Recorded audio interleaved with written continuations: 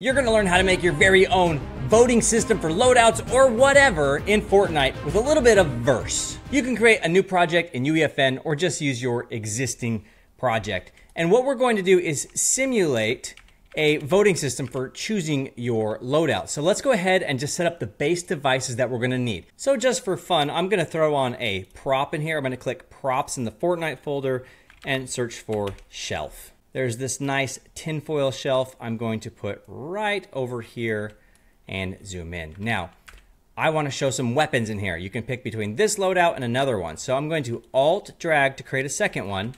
So we've got the two loadouts next to each other. Then we're going to go to devices and I'm going to look for the item placer.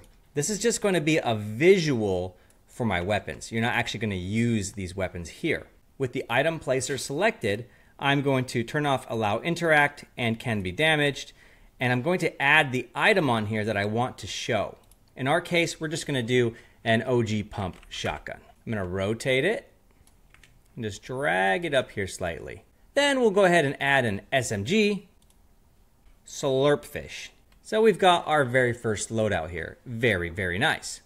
Now I'm going to scale these up slightly by selecting all three of them pressing the R button or the scale button here, and I'm going to make it bigger. I'm going to drag it a little bit bigger, and I'm going to move it into the area that I want it to be. And here we go. Now I'm going to Alt drag over here to this loadout, and I'm going to change these to, you know, whatever. These are just for visuals.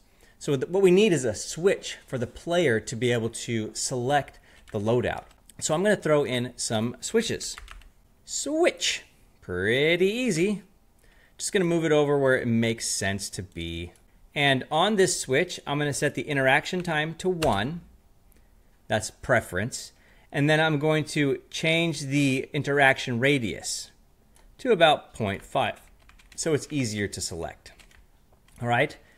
I can click this switch and control D to duplicate it and I can drag it right over here. Now what we're going to use is a player counter. Now, we're going to use this only for visuals. The player counter is kind of a junky device, I'm not going to lie. So a lot of this kind of stuff you want to do in code. It's way easier. So we're going to use it for the visuals though, because I like how it looks. I like this little icon and the colors there. And that's kind of a good spot too. And there's a few things we need to do on here. First off, uh, if we don't put a zone on this, it's going to count all the players. So I'm going to go all the way down here to use a zone. It's really big. And I'm just going to set it to 0.1, 0.1, and 0.1. Make it so small out of the way that no one could ever enter into it. And then I don't like a little icon there. So let's go ahead and search our icons. I'm going to select the assault rifle. So right here. Now lastly, I'm just going to change the target player count to four. I have a four player game. Control D or Alt drag this over to the second one, and I now have a loadout counter two. Again, this is just for visuals, so we don't have to use billboards or anything else. We need one more thing is we need a timer to count down. Like imagine you go into a lobby, you've got 15 seconds to pick your loadout. So let's go ahead and add a timer. And for the duration, let's just do 15 seconds. So just to make this complete, let's go ahead and put an item granter and what we're going to do is say clear inventory yes, but grant all items instead of current item. And then what we'll do is we'll pick the exact same weapons that are over here. And if you want to make your life a little bit easier, you can just select your shotgun or whatever item you put there. And in the item list, you can right click and go to copy, go back to the item granter, and on your first item, you can right click and go to paste. So this item granter here will give these items when that loadout selected. And then the other thing I want to do is turn off grant on cycle. So I'm going to control D to duplicate the weapon granter, the item granter. We already have a shotgun. We don't need the SMG. So I'll just delete the SMG by clicking the arrow, the caret, and click delete. And here for the shotgun, we can just change this to the Havoc. So click the Havoc, copy, and then on this item granter here, we're gonna go ahead and paste the Havoc. So now we have two different loadouts we can choose from.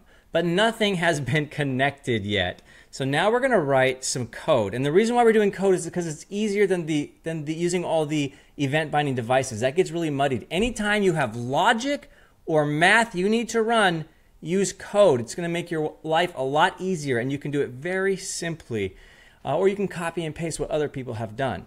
What you're going to make sure you do is go to Verse and turn on the Verse Explorer and make sure you have this window open here. You can find it somewhere on your screen. And now what we're going to do is create a new, right click this icon here and create a new verse file, okay? New verse file, and I'm going to call this game underscore manager and create. Then you can click this verse icon to load your code. And here's our fancy code. I've already created this code, so you're going to see an extra file here that you won't have, but click on your game manager.verse. And think about what we're trying to do. We're simply trying to see when someone toggles on the switch, we're going to flip that switch, add to the counter. If they go to the other switch, we need to remove the vote from the other counter. And when the timer ends, let's do some math to see which one had the most votes, and then give the items. That's it. And the first thing we always do when creating a device like this is grab our items that are in the game. And we do that using at editable. And we're to grab our counters first. So weapon counter one colon player counter device equals player counter device and then curly braces. This is how you create a device. All right, and we're going to drag it in a little bit later. And then you can type the same thing in for weapon counter 2. I've got a nice tool that's going to let me just press tab and put it in there. So weapon counter 2. Then what we're going to do is grab our switches, so at editable, and we're going to call this weapon switch 1 of type switch device equals switch device. And then the same thing, weapon switch 2 and then of a switch device. You can pause the video to catch up here and follow along. We're just grabbing references to the items we already put in our map. Okay, now let's go ahead and put the timer in. So at editable, we're gonna call this load out timer of type timer device equals timer device, curly braces. That's our timer. And then lastly, the two item granters, right? So at editable, load out granter one of type item granter device equals item granter device. And one more time, load out granter two. We just put all of these in the map. Okay, this is literally a code reference of what you've already dragged in there. Really cool stuff. So what we want to do is we want to listen for when the switches are turned on. And when they're turned on, let's go ahead and increase the vote on one counter and decrease it on the other as needed. Let's do that now. On begin is a function that's going to be called the moment your game starts. Okay, it's going to be called right away, automatically. Okay, so we're going to say weapon switch one dot turned on event dot subscribe. We're going to listen for the turned on event on switch one turned on. So this is a built-in function by Fortnite. The same thing you can use uh, in the outliner in UEFN. And so we're going to listen for this event, like so. On switch one turned, on switch one turned on, it's going to give us the player, which we call the agent in this case. Colon void equals, that's just the syntax. Don't worry about what that means if, if you've never coded before. And so on switch turned one uh, on switch one turned on. What do we want to do? We want to register that player for the first loadout counter so the counter updates. And then we want to unregister that player for the other one so it's not counting in both places, okay? So what we're going to do, weapon counter one dot register agent. So we're now going two register that player with the counter for that loadout. And then you're going to see that icon go and go up to one. Excellent. And then what we're going to do is we're going to say weapon switch to dot turn off for agent. Okay, it's going to turn off the other switch for that player because we don't want that on anymore. And keep in mind, these switch devices are not for everybody. Each switch device can turn on or off for each player. So if you're a player and yours is green, that same switch might be red for somebody else. It's counting your vote only, not the other player's votes. And what we can do is we can go over here to these switches back in our project. So loadout switch one and loadout switch two, store state per player. Otherwise, it's going to be for everyone in the game. And a lot of people forget to click this right here, okay? And then lastly, we're going to say weapon counter two dot unregister. So we're going to take the other loadout and unregister the player. So if it was a one before, it's now going to go back to zero. We're unregistering that player, okay? Now we've done that for the first weapon switch. Now we got to do vice versa, right? So we're going to say weapon switch two dot turned on event dot subscribe on switch 2 turned on. And we have not created this function yet, so let's do that now. On switch 2 turned on, it's going to give us the agent or the player, and we're going to do the exact same thing, just in reverse order. Weapon counter 2 dot register agent, okay? Weapon switch 1 dot turn off, and then weapon counter 1 dot unregister. The exact opposite thing. Now we need to just tap into the timer. So if we come up here into on begin, we probably need to listen for our timer. And our timer is called the loadout timer. So we're going to say loadout timer dot success event that's given to us by Fortnite dot subscribe. And then on loadout timer success. That's a function we're going to create that the timer is going to call when it's done. So we'll just create it right down here. And it's a little bit different on this one. It is going to give us an agent, but we're going to put a question mark in the front of the word agent this time, the lowercase agent. How do we count the votes and figure all this complicated stuff out? It's actually very easy. What we're going to do is we're going to say if weapon counter 1 dot get count is greater than weapon counter 2 dot get count, what do we want to do? In this case here, I'll make a comment. We want to give loadout 1. So if the weapon counter 1 has more votes than weapon counter 2, let's give loadout 1. And conversely, else if weapon counter 2 dot get count is greater than weapon counter 1 dot get count, we want to give loadout 2. Okay? Pretty cool. Now you're probably thinking, well, what about a tie? What if what, what about that situation? Well, we're going to handle that right now. So in the first two cases, we just care if one got more votes than the other. However, if it was zero votes or there was a tie, okay, if things just didn't work out, we're going to pick a random loadout. So it just keeps going forward no matter what. Pretty cool, right? So we're going to make a new variable called rand, short for random. You can name this whatever you want. Uh, and we're going to say colon equals get random int. Int meaning integer, just a number, okay? A number between 1 and 2. 1 or 2, basically. Now it's giving us a red squiggly because we have to import this module at the top. So we can do that now. We can say using verse.org slash random. Okay? So now what's going to happen is it's going to generate a random number for us between 1 and 2 we only have two loadouts. If you had three loadouts, it would be between one and three or between one and four. You get the idea. And what we're going to do is say if rand equals one, what do we want to do? We want to give loadout one. Else, otherwise, give loadout two. Cool, that's it. That's our math right there. And this is the hard part with using devices in UEFN you got to do a bunch of weird stuff in order to do this logic. Much easier here in code. Okay, anything with math or logic, if else, do in code. Uh, it'll save you a lot of headaches. So now we just need to give the weapons, right? So what we're going to do is we're going to say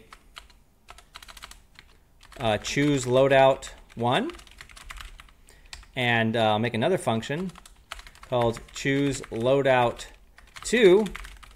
It's yelling at us because we haven't written the code yet. And then what we'll do is we'll just go through all the players who are in the game and give them the loadout. So in our case here, we're going to make a for loop for each player in get play space dot get players and a colon. Uh, so each of the players in the game in the play space, we're going to say loadout granter one dot grant item player. Same thing in this other function except loadout granter 2. Okay, so for each player in getPlaySpace.getPlayers, loadout granter 2 dot grant item. All right, now we just connect these functions here like a so. So we're going to say choose loadout 1 with the parentheses to call your function. This one's going to be choose loadout 2. This one's going to be choose loadout 1 and choose loadout 2. Excellent. So we do the votes first, and if the votes don't work out, we'll just pick a random one. No big deal. Pretty cool stuff. That's it. That's all the code right there. That's all we had to do. It may seem like a lot, but it's not. It's very straightforward. Just takes practice. Back to our UEFN, I'm going to go to verse, build verse code, and then in my content browser, I'm going to click creative devices, and you're going to see this game manager or whatever you called your code. And it's a object here. And on the right hand side with it selected, I'm going to turn off visible in game. We don't want to see that. And look at all these little things that say none. These are our editables or devices that we already created. So weapon counter one is loadout counter one. Weapon counter two is loadout counter two. I could have named them the same. I should have. Uh, weapon switch three is going to, or weapon switch one is going to be weapons loadout switch one. Weapon switch 2 is loadout switch 2. And if you see these little icons here, it, will actually select them in the editor so you know exactly which one you're working with. Uh, but back to our device over here, we need to fill out the rest. The loadout timer, let's go ahead and click that and click the timer device. And I probably need to rename that. So we're going to call this, press F2 and call this uh, load out timer just to make it more readable. And then loadout granter 1 and loadout granter 2. We just connected our code to things that are actually in the game. Super, super cool. All right. And then we've got these two players here. I'm going to rotate them. I pressed E to rotate, E to rotate, move them a little bit closer. And then I want to hide these things. So I'm going to click both spawners and turn off visible in game and save that. And this is looking pretty fancy here. And there's one more thing I want to do just for my game is I'm going to click both of these item granters. And what I want them to do is equip the granted item, item to grant one. That way they just get the weapons and they can start right away. Okay. And there's one more thing we need to make sure we do on the timer. Make sure start at game start is enabled, or you can start it in your own code or somewhere else. In our case, we're just going to start it when the game starts. Now let's build it and see if it all works. All right, we have 15 seconds to pick a loadout. If I select this one, this should say 1, this should say 0. And if I select this one, this one should say 1, and this one should say 0. Hooray! And I should get the Havoc and a Slurpy Fish. And sure enough, I did. How cool is that? So that is working. Let's test it with the other one just to be sure. And here we go. One, and then one. We've picked a different one this time, and I would expect to see these three items now. And we did it. That's just magical. See you next time.